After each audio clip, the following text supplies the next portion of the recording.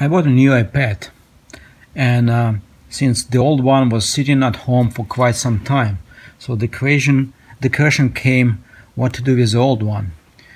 So not many things can be done with it because many applications do not work on it anymore and even um, the web pages are not loading. So what can be what can be done with it? So and I decided to use it as a panel to control my Home Assistant automations. If you want to use your old iPad as a control panel for Home Assistant, so what you can do, you can go to settings. Then uh, I recommend to uh, select uh, uh use uh, the button, the switch button for lock um, rotation. Then go to accessibility, uh, guided access turn it on.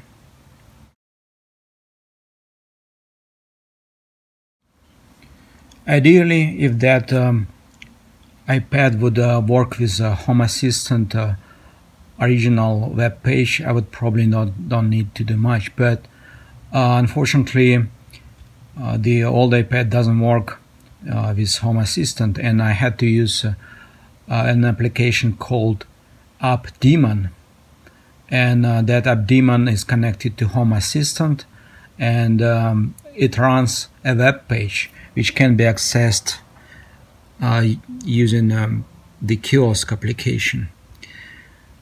Uh, so in um, in kiosk application, I enter the address of the um, the IP address of the app daemon, and uh, of course you need to change uh, the IP address to your to your address, your local address, and um, main is the uh, name of uh, the page that is my main dashboard and skin.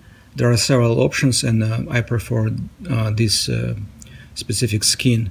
But uh, of course it is um, up to you to choose. And um, but this this video is not about um, not about um, AppDaemon tutorial. It's more like my experience how to use this specific iPad. So, and um, once everything is set, um, I run the kiosk. And um, here you see um, the page, uh, my main dashboard, and there are a couple more dashboards, uh, like this one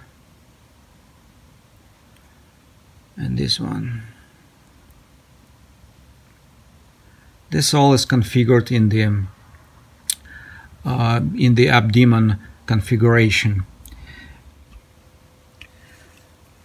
I made this uh, frame for the iPad. Uh, it is made of cherry. So what it has, it has um, a hole for the um, power connector. It has this bump to hold uh, the iPad also has two holes. One is for camera and another for the to press the home button. The the camera hole is not actually uh, needed except so I'm not gonna use it for, uh, as a camera but uh, the camera is needed to adjust brightness uh, of the screen. So basically here it goes so the um, the connector side goes to the to, uh, to the connector hole and uh, this bump holds the other part of the um, um, of a iPad. And then just um,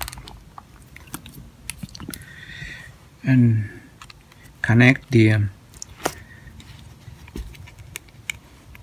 I need to uh, press it to connect. Here, here we go.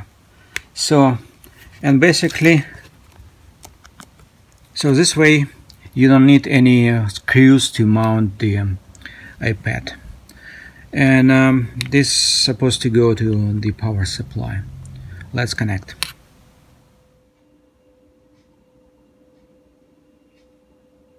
To power the iPad I installed a power outlet these two USB sockets.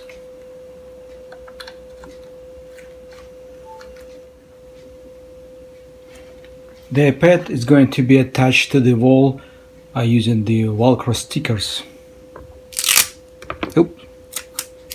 Oh, that's how it works.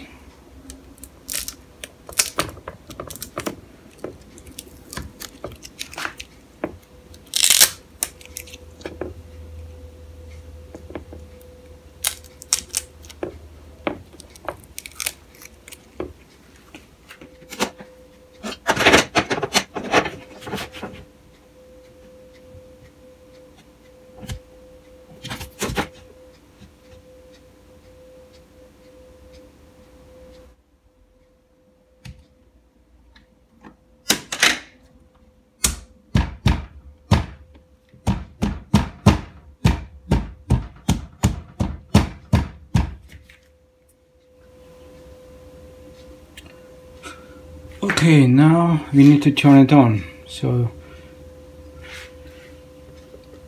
just pressing the home button.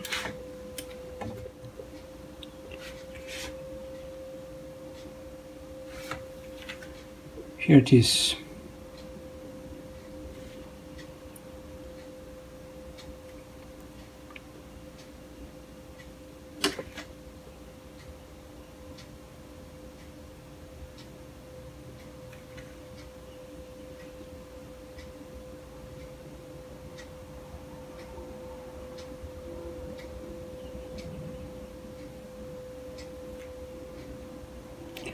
and uh, this button is to return to home as well as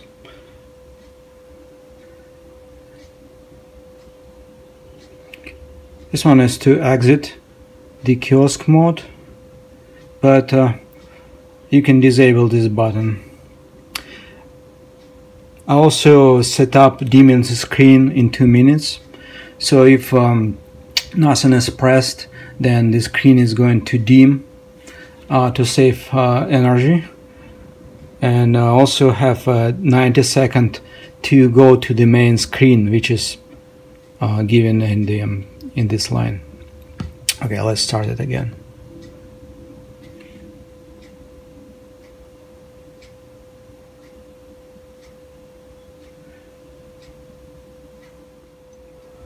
So the screen is dimmed.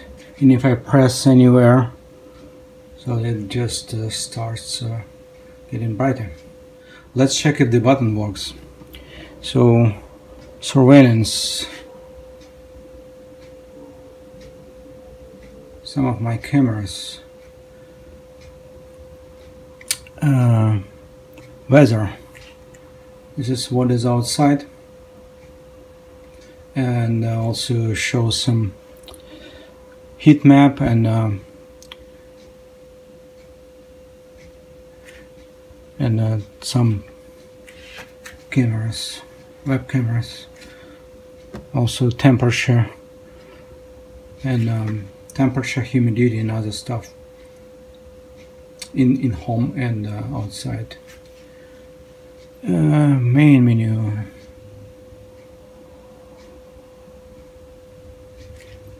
Let's turn on Beatles